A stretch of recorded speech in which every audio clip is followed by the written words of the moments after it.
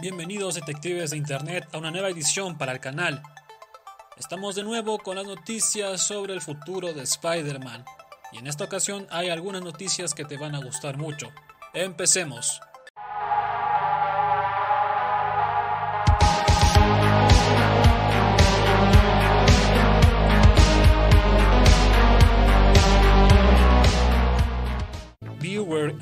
Un insider que tiene buena reputación, ha mencionado lo siguiente: el plan de Spider-Man 4 es traer a Miles Morales al UCM.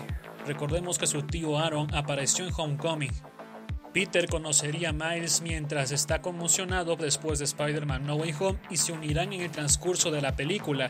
Lo último no está claro si Miles solo será como el amigo de la silla que ayudaría a Peter o si Miles tendrá también poderes arácnidos y ayudará a Peter en algún punto de la historia. Esto es algo que no está del todo claro, ya que la información compartida por el insider es algo prematura. Igual tomen esto con pinzas porque podría ser que Sony realice una película de este personaje live action, ya que en los últimos años se ha vuelto popular. My Time to Shine Hello compartió algunos datos interesantes en su Twitter. Uno de ellos llamó mi atención y es algo que sí podría pasar en el futuro. Según el insider, después de la reacción del público al ver No Way Home, Sony quiere reunir de nuevo a Tobey Maguire, Andrew Garfield y Tom Holland para una próxima película en equipo. Una cinta enteramente al Spider-Verse podría suceder. Mariana Torres, voz oficial de Wanda Maximoff en portugués, subió hace unos días una historia en su Instagram junto a Manolo Rey, voz oficial de Toby Maguire en portugués, con el mensaje Se vienen cosas buenas. Mariana Torres hace la voz de Wanda en portugués desde Avengers La Era de Ultron. Manolo Rey hizo la voz de Toby Maguire en portugués en la trilogía de Sam Raimi y recientemente en No Way Home. Existe una posibilidad de ver a Toby de nuevo. Hace meses que Sony y Marvel llegaron a nuevos acuerdos que benefician a ambos. Tras el enorme éxito de Spider-Man No Way Home, Marvel podría aprovechar en tener a Maguire de vuelta para esta película de multiverso de locura.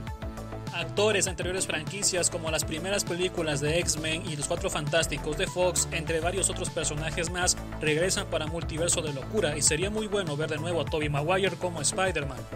Y por último, se liberó un nuevo arte conceptual de No Way Home, Misterio de Jake Gyllenhaal luchando contra el Doctor Strange en la Estatua de la Libertad de Spider-Man No Way Home. Se ve a Quentin Beck usando los poderes que demostró en Spider-Man Far From Home, que finalmente se reveló que eran el trabajo de los drones de Stark y las gafas Elite que Stark le dio a Peter Parker.